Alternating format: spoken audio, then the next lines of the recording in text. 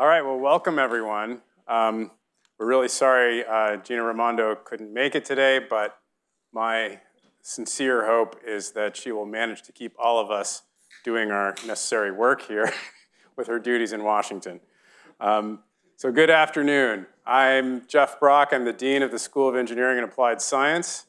And it gives me great pleasure to, uh, to bring today the second of our series, the Dean's Invited Speaker Series. Um, these are a new series that we've inaugurated to try to bring uh, members of our community, the larger Yale community, who are highly placed in industry, into conversation with all of you and with the larger Yale community. Um, so many of our alums have made their way to the top of the industrial world in one role or another. They have incredible stories.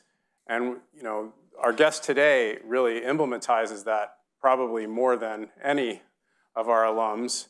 Um, so I'm really pleased to welcome CC Wei, who joins us in part, in addition to this grand event, to receive the Wilbur Cross Medal this evening from the Graduate School of Arts and Sciences. Uh, let's give a round of applause for that.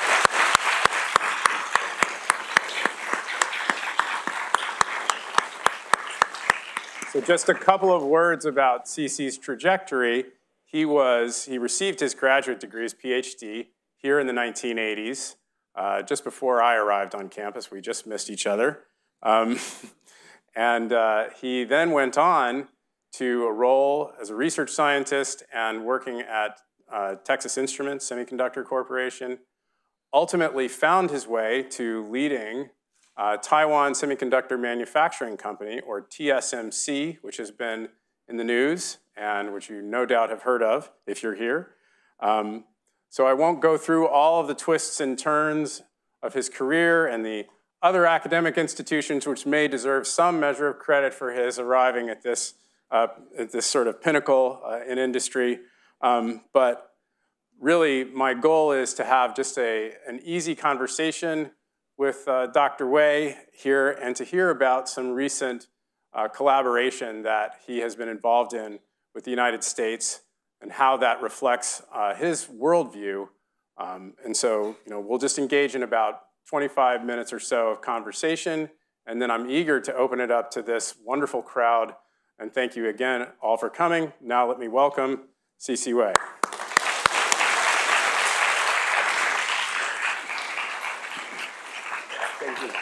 Okay.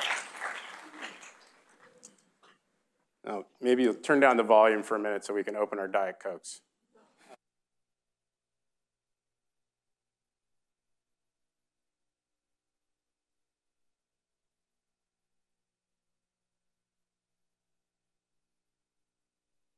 Exactly. All right, so um, I have the honor and privilege of opening it up here today, but I guess I'm just curious how you came to Yale, how you saw Yale as a, as a direction you wanted to pursue, and what you think it gave you in terms of your trajectory forward. That's a good question. You are wearing uh, the Yale tie, so it must have meant something to you. Uh, well, starting with this tie. Um, this is the only chance I can wear a tie with proud. I mean, that's a, you know, if I wear this one in my company, uh, a lot of people will protest, you know, because they graduate from the different school, they think, uh, you know, they are the best. Uh, anyway, here, here is the best.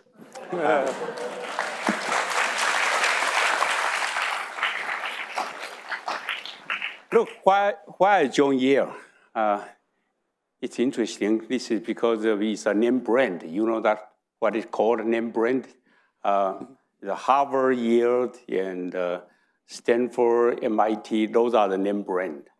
Uh, so when I receive, I apply many schools uh, when I want to have a graduate study. And one day I received the admission, and uh, I still waiting for other school to give me the reply but then my family, my brother especially, he said, hey, young brother, this is a Yale. Is that the same as in the newspaper? Is a Harvard Yale? I say yes. He said, then why, what are you waiting for? Just go over there. I mean, I say, well, you know, I'm still waiting for Carnegie Mellon or those kind of a school. He said, what the melon? Melon is a, is a fruit. Don't go over there.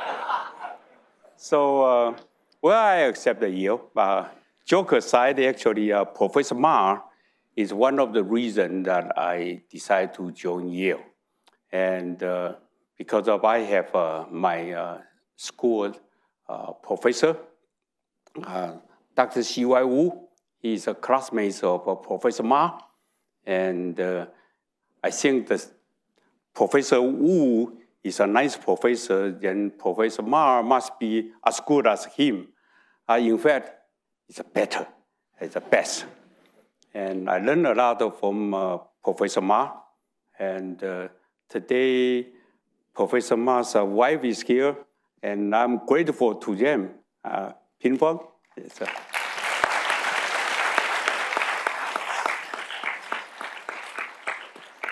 and then to tell you the truth, uh, when I was, uh, you know, studying Yale, uh, it's an endless work, a lot of pressure, and a long working hour. So I uh, thought that this is the hero of my life. I, I need to get out as quickly as possible.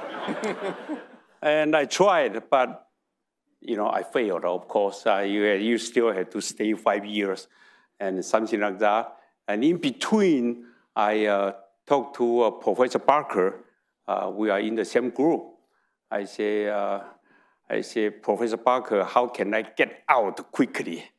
Then he looked at me, he said, you don't, you don't get out. Uh, have you ever enjoyed Yale? I say, how to enjoy Yale? Yeah, you know, in, uh, in my life the Helen Hartley Hall, the tunnel to uh, Becton Center, the, way, the life in Becton Center, and never ending. Uh, so he looked at me, he said, have you ever listened to any speech in the law school?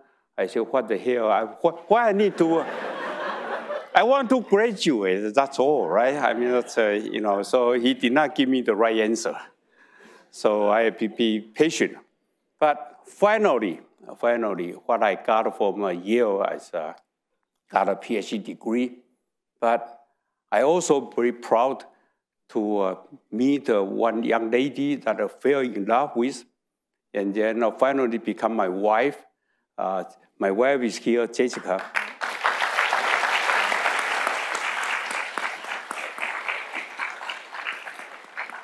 and then with her, I have uh, three lovely kids. Okay, one of them is uh, with me, Terry. Uh, okay, I tell you the truth, I got what I want. I have a degree, I have my wife, and then, uh, you know, the life goes on, right? And uh, I thought that would be a rosy picture ahead, but actually it's not. If you work on the semiconductor industry, you have to work hard. Uh, it's by nature, because of uh, this semiconductor is a very important industry. Finally, we knew that, but you know, 40 years ago, it's not. You know, 40 years ago, uh, double E is not so, uh, let me say that, it's not so popular. Uh, now today is more important. Okay, I got all my story in here. So I was telling CC, CC, earlier that semiconductors are hot. Look at the uh, presence here today. Um, so what would you say about the kind of the American culture resonates with you in terms of developing um, creativity, productivity? Why might you be inclined to work with the US government to, to develop this partnership? That's a good question. Uh, actually, there's a lot of rumor say that uh, TSMC had been pressured by uh, U.S. government to come to uh, U.S. to build a fab. To tell the truth, it's not really that story. In Taiwan, we start to see the limitation of uh, the number one limitation that in Taiwan I, I have is a talented people. The limitation of amount of talent people. And uh, to tell the truth, U.S. is a, is a country that with the most innovative, talented people here, uh, like you guys are, okay? Uh, very innovative, uh, very uh, kind of uh, wild dream driven people, and especially for the Ivy League student, they always being trained to be the leader. So you guys don't think something small. You will be the leader in your industry, in your career one day. And so now talk about why TSMC want to build a fab in the US. Simple, because the US will have a huge amount of talent people that I can look for. And we can have some select of the talent people to join TSMC uh, in US. At the same time, the US also think about, the government also think about the semiconductor is very important. It indeed is very important because this is a semiconductor is a center of every technology. You name it. In the future, you name it. You want to have a, have a, a more advancing uh, medical care, you need a semiconductor. You want to have autonomous driving, you need, you need a semiconductor. You want to have an AI application in every industry, you need semiconductor. So U.S. government suddenly realized that. I say suddenly because they never talk with them, with the TSMC. Now they talk very often. um, so I uh, actually I expect to uh, have a same occasion that uh, Secretary Raimondo here. Um, but anyway, so finally, um, I mean, why we choose U.S. It's not we choose U.S. This is a natural choice because you need the talented people here. Okay, and uh, by the way, U.S. government also promised to help TSMC to build a fab in Arizona. So we choose it, we like it, and uh, we have some problem. No doubt, you just read the newspaper. But then we will overcome all those kind of things. We took it as a, as a kind of a learning cycle, and then we are going to build more fab in the US. And welcome you guys to join, by the way.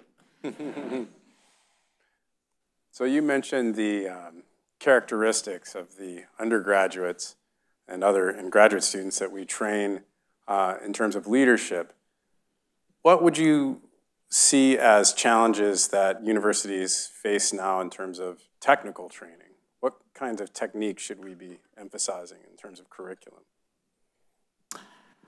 Technical. That's interesting. I never touched that area for more than 10 years. uh, you know, now all the days I use my lip service. Uh, Same here, That's why we sit here. Yeah. Uh, actually, uh, my wife joked with me, say that if I cannot speak it out, I can ask my, uh, my kids to help me uh, to deliver the, uh, the speech. Um, in undergraduate, I, let me use one joke. one time I talked with Professor Barker. So Professor Barker said that uh, as a professor, he has to treat the undergraduate student very well because most of them will be the leader in the industry. Uh, for the good student, when you have a good track record, uh, when the student have a good track record, they will become professor, so they will become his colleagues. So deal with them politely. when the student with a bad record, uh, the best score, they will be the industry leader. They will, they will donate the money to the school. So be nice to them also. For those graduate students, ignore them because of, uh, you know, they are useless sometimes. okay, Now, joke aside, um, I would think the best Ivy League, so uh, the school, actually to train the future leader. That's very important. I'm not very good at uh, technical, to be frank with you. I'm a mediocre student. Uh, when Professor Mark gave me the score, that's a mediocre. I mean, uh, so I'm the one that graduated, but uh, you know, this school, the Yale, this school, will train the future leader. You look at how many of U.S. presidents we have from this school. We are the best in the law school, right? Um, engineering, I don't know. I mean, that's we're getting, I, we're getting right. Yeah. But then we will be the leaders in the industry. You know, look at me. I don't need to have a very good score, but you know, I still can be the leader. Don't worry, you will get it. Uh, by the way, the trick is that you have to live longer. Yeah. so stay healthy. Okay, so you've teed up my next question, which is, at what point when you were working through your career did you see opportunities for leadership? What made you choose to head in that direction as opposed to research and engineering? Well, the answer is very simple. I'm not good at research. so by nature, you have to choose another route, right? Uh, to be frank with you, uh, in my career, we have to be humble. Uh, we had to be humble during my whole career. So I know a lot of talented people. They can do much better work than me in terms of technical. Uh, but I'm not too bad either, by the way, okay? I have a few papers and uh, about uh, 30 to 40 uh, uh, patent, 30 to 40 papers and speeches, but then I'm not the very best of it. However, during your career, you continue to be humble, uh, humility, and uh, you have to be uh, love what you have doing with your work. That's a trick. That's a trick. You got to be happy. Only when you are happy, you can work hard. But how to become happy, how you are going to uh, love your work, you have to find the pleasure inside your work. That's a trick. If you cannot find the pleasure, don't do it. You know, change to another company or change your boss. I don't know, uh, usually. uh, but in reality, you cannot change your boss, right? So uh, you try to find some pleasure with uh, your work, and then you will become happy, and then you work hard. I, I always believe that everybody's a wisdom almost equal. You are not much smarter than other people. But working hard, enjoy it, and then you can walk all the way through. And by nature, you will become uh, the leader of the, your group, and then become the leader of a bigger group, and become the leader of a company, like, like me right now. Um, you know, to be frank with you, I am lucky all the time, whether you believe it or not. So you know, your advisor, uh, TP Ma, was one of these larger than life sort of warm personas, and, and we miss him dearly. Probably there were nevertheless moments when you had doubts about your chosen direction, as we all do as graduate students. What were the things that kept you going? What can you offer this group in terms of motivation for the, the hard moments? Yes, one motivation, because when I was a graduate student, the life is tough, right? I mean, that I have to work uh, for a long hour all the way to the night. So uh, the motivation is to get out of this school as quickly as possible. and then I will have a better life, right? Yeah. Uh, the same motivation that when I was working in TI, I'm an engineer, so I say, what, what, I, what I am doing, I still work day and night. So I want to be promoted to manager so I will have a better life. so once I get the manager's uh, managerial job, I say, oh boy, I got to be a VP. So then I can relax. Uh, so I was a VP in, uh, in TSMC. Then I found out, God, boy, I work for a very top boss, Dr. Morris Chang. So I said, oh boy, I mean, that's a, I got to uh, be a CEO to get rid of uh, that's a nightmare. and then I start to regret that I, that the nightmare never disappear. uh, so motivation, motivation is uh, usually you think the future is better, but uh, uh it's not really. So just give you a good advice, okay, guys.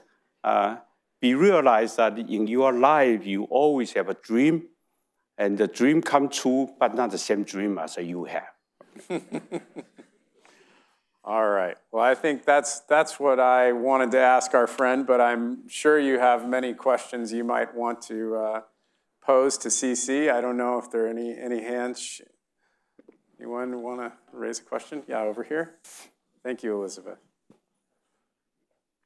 Um, the vast majority of US military planes have Taiwanese chips in them. Um, and the semiconductors were made in your company. And I'm just wondering um, where you think the supply lines for um, these chips will evolve in the coming years.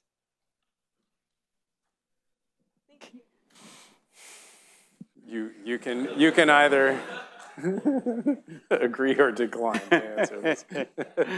That's an interesting question that I uh, don't have a perfect answer. I mean that uh, you are talking about uh, like the U.S. government official talking to me, that uh, you know, uh, this is uh, related to the national security or related to the resilience of the supply to the U.S. to be frank with you, in my point of view, uh, this semiconductor industry is uh, globalized. Uh, every country doing what he can do the best. Uh, but among them, the biggest, uh, let me say that the biggest, the strongest country in semiconductor industry is the USA. Okay, you guys don't get misled by the newspaper, by uh, all the uh, rumors, say that uh, oh, manufacturing Taiwan is a very good, and uh, blah blah blah. The strongest country in semiconductor industry is USA. Now, the US is kind of uh, putting manufacturing aside for a while.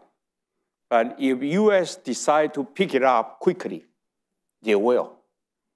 And why I say the strongest uh, country in semiconductor industry is because of uh, all the process, all the technology development. You need the very advanced tools. And all the advanced tools originated or being manufactured in the US. That's where it becomes the strongest. I using the photolithography as a one of the example.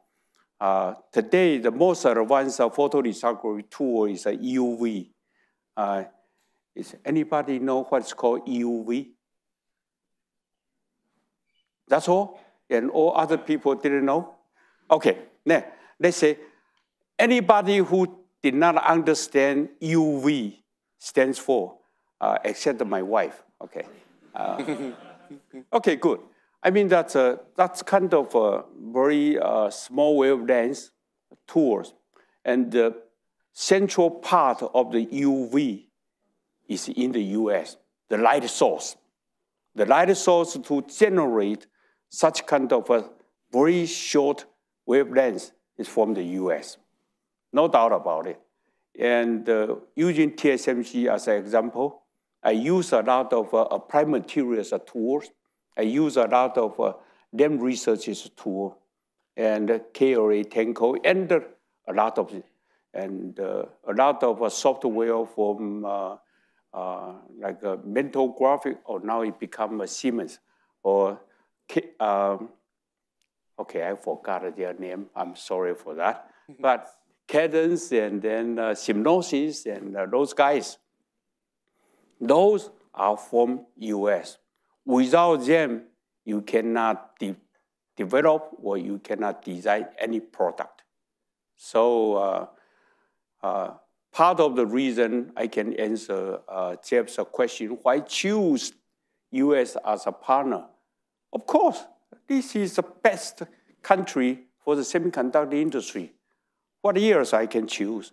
So if I have a, have a, cho have a choice, US is the number one place I will choose. Produce enough chips inside US uh, takes time. Okay, so be patient. That's the same answer I answer that uh, U.S. Uh, government officials. Be patient. Be patient. Okay, uh, there's another one over here.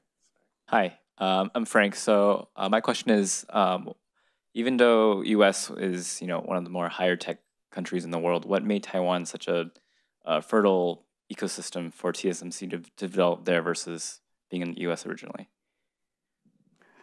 Oh, you're talking about the ecosystem for the whole manufacturing of the semiconductor. Uh, the same answer, be patient.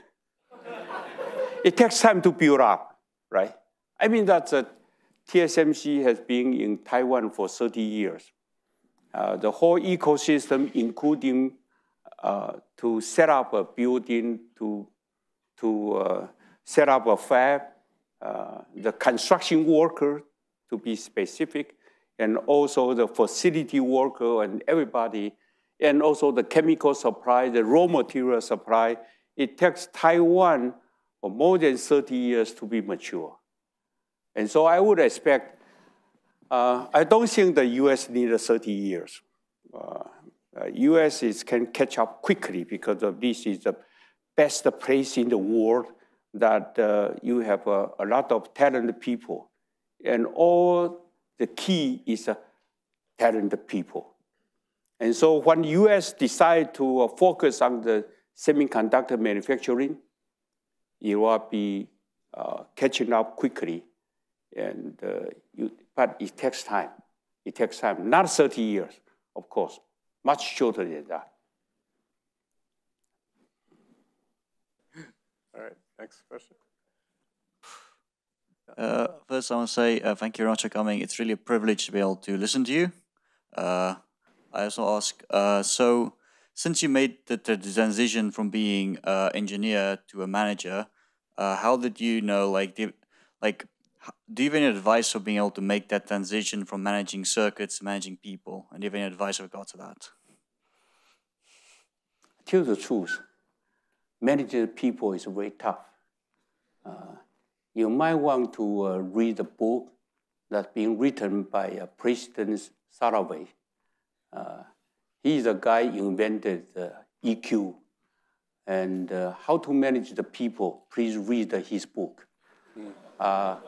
I regret a lot that I did not read his book and be, and being promoted to a manager's job.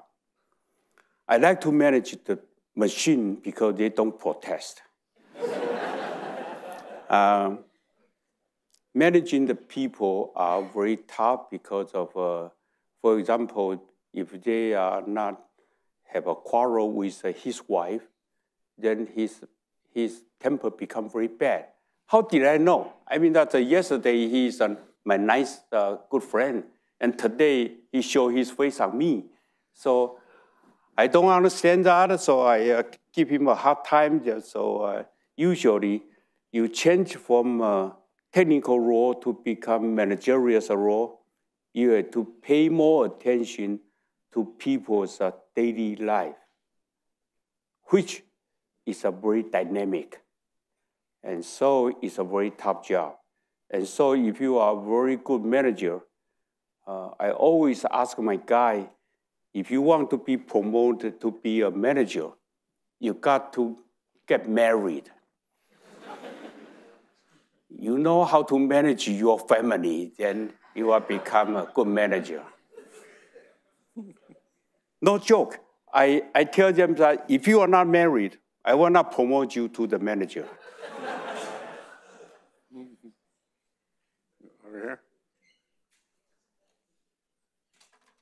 Um, if and how do you see TSMC essential in countering China's rising global um, technological influence and semiconductor industry?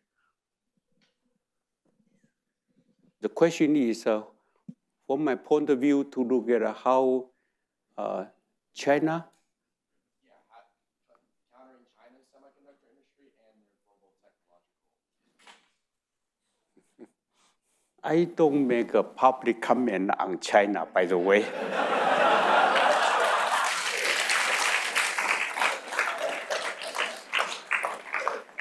to be frank with you guys, I was not allowed to uh, give a speech uh, without go through my legal department.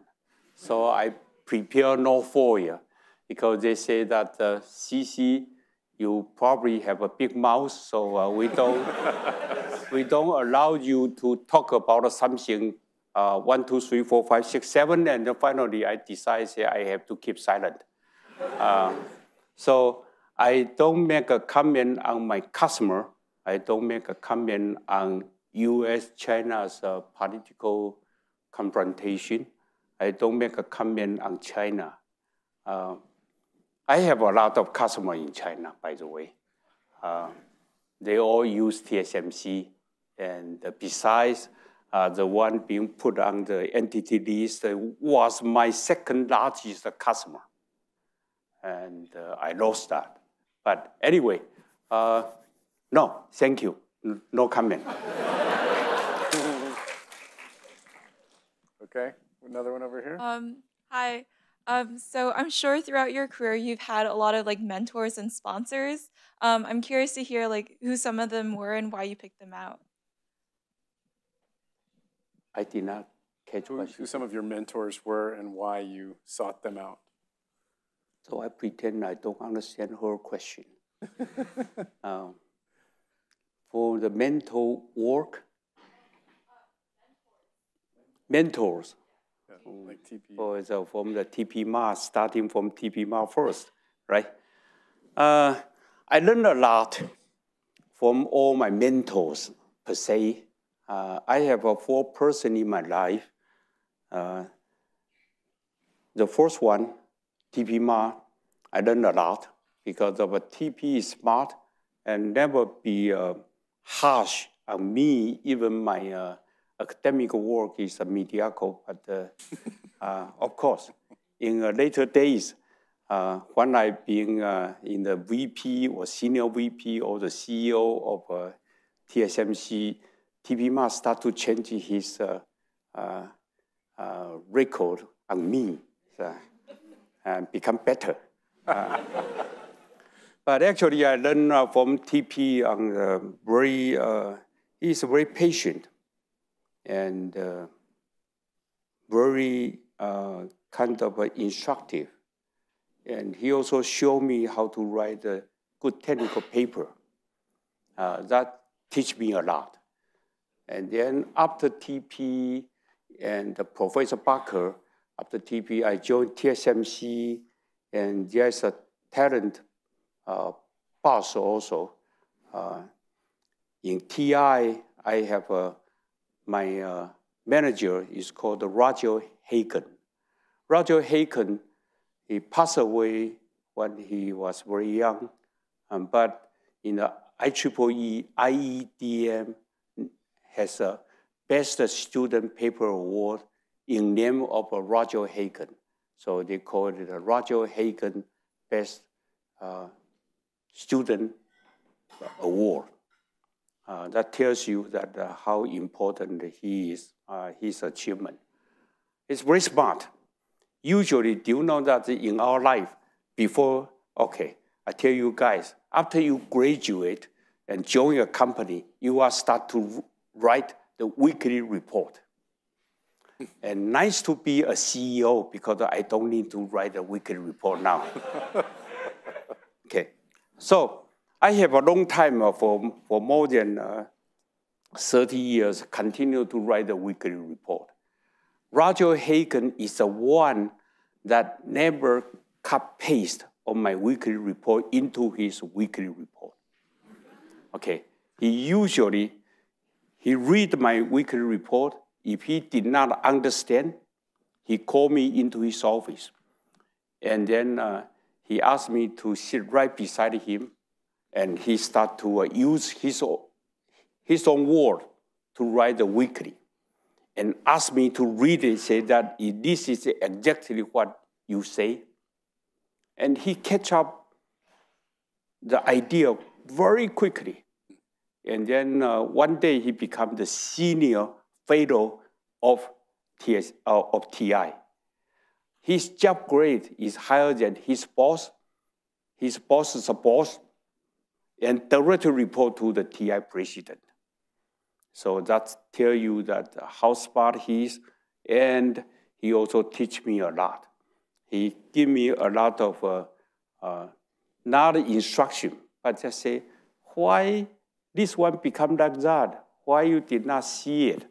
Oh my God! So I have to go back and work hard. Uh, Roger Haken. But finally, I met with a very top one if you want to call it mentor, uh, Dr. Morris Chang. Uh, he's a founder of a TSMC. And I learned from him a lot, but he's still around, so I don't want to make any comment.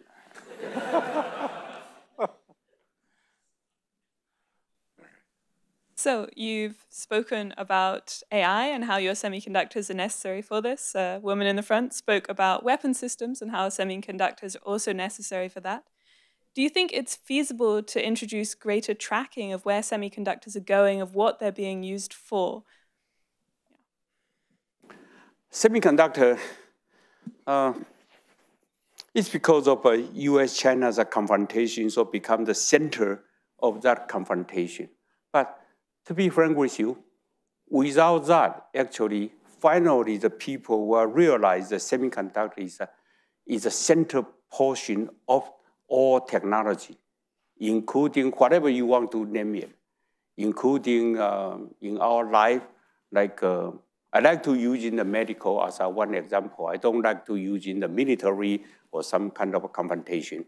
Uh, in the medical, uh, in the medical field, uh, I want to make a joke of my wife. She only trusts the guy with experience, right? So when you see a doctor, you want to see an experienced doctor. Am I right? Okay. But look at it. Um, to, to give you some idea, if a doctor is a 50 or 60 years old, are you going to let that guy to do the operation? do you know that the people's uh, hand is not steady? Do you want to do the experiment? Just hold a laser pointer to the wall and see how steady it is. okay, now here comes a question. If you want to do the operation with the, the, the hand is uh, some kind of uncertainty, and then you let that doctor to cut it? Not me. I mean, that's, uh, you know, I will trust that uh, is everything controlled by the semiconductor, then I will trust it. Okay, so in the future, I would like to say the surgery will be done by the machine. The machine is controlled by the semiconductor. That's one thing. And the other thing is uh, what is called experience. Experience, that means you learn a lot of uh, skill by years. And you have to remember, by the way. So I would say that uh, if you go to the hospital to see uh, you got the flu, so you, you tell the doctor, say, I got the flu, I have coughing, I have a running nose, and, everything, blah, blah, blah. And so the doctor will say, okay, sit right there, measure your temperature, measure, measure your heartbeat, and then uh, be very patient with you for half, a, for half an hour, and then uh, write down some medicine for you. I don't need it. I just using the AI to correct all the flu example in this area, and then the AI will make a judgment, say that what the age you are is a, is a male or female, and what the symptom, what kind of a temperature, body temperature, what kind of heartbeat, what kind of a blah, blah, blah. And then they also look at, are you in New Haven or you are in New York, or you are in Washington, D.C., and so the flu in that area of the people, the symptom look like a what? And finally get a conclusion and write down the medicine for you. And the accuracy will be 90 or 95%. So you don't need a doctor. You just type into the computer. and then 90 or 95% of accuracy, you still have 5% to 10%, right? Then you see a doctor. And then doctor say, it's not working for this one. And the computer asks, so what years? Uh, uh, type it into. Uh, so the computer continue to remember, continue to educate itself. And so finally, I don't need a doctor to see when I, I have a flu. I don't need a doctor to do the operate, you know, to do the uh, operation surgery. I don't need a doctor to give me some advice, uh, like I'm uh, overweight, and the AI will tell me, say, Mr. Wei, you are overweight for five kilogram. You better to do the following and whether I follow it or not, then I have to wear a smart watch. And then the watch will measure my heartbeat, measure my temperature, send it to uh, computer, and computer give me a warning, say that uh, you are not listen to me, so you have better watch out. You only have uh, how many years to live. then I'll get nervous, right? So I start to follow the uh, instruction. But anyway, in the future, semiconductor will be the key to in our life, something like that. Uh, yeah. Okay, maybe we have time for one last question. Yeah. Uh, first of all, thank you for the great talk and inspiring us. Uh, of course, uh, every process in the semiconductor manufacturing is very important. But first, first decade, people talk a lot about the miniaturizing the semiconductor and integrate more and more chips inside of more and more transistor inside of the single chip. But it's a like seven nanometer, five nanometer, three nanometer like that. But uh, now we will facing the limit of the miniaturizing the uh, process. So, what is your insight or prospect? Which process will attract people's attention after the miniaturizing and integration the transistors? Good question. Is there any, actually your question should separate into the, is there any limitation at all? Okay, and what we are doing to deal with it. I give you a story.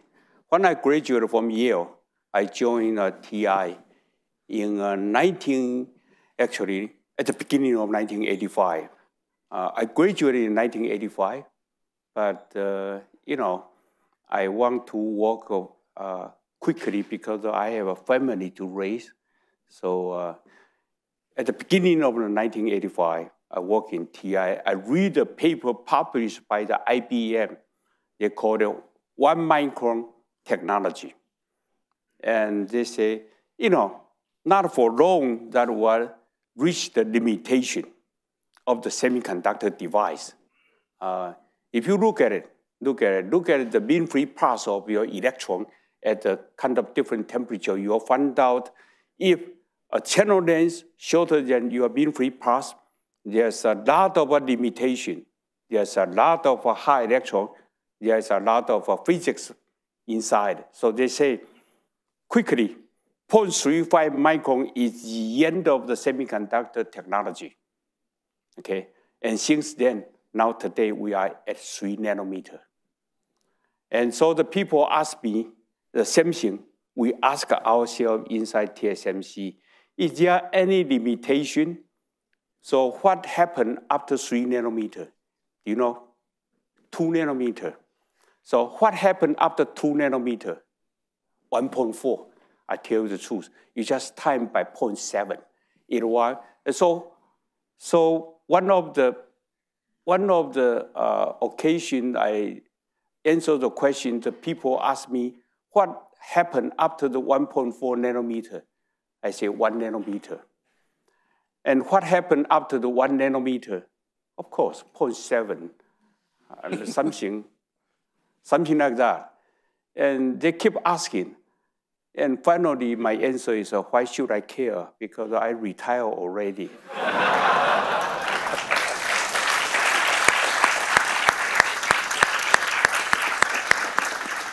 All right. Thank you again, CC. Thank you, guys. pleasure. Thank you for coming. Thank you, sir. Please welcome, enjoy some refreshments outside, and let's thank CC here again. One last word. Don't forget to join TSMC after you graduate. All right.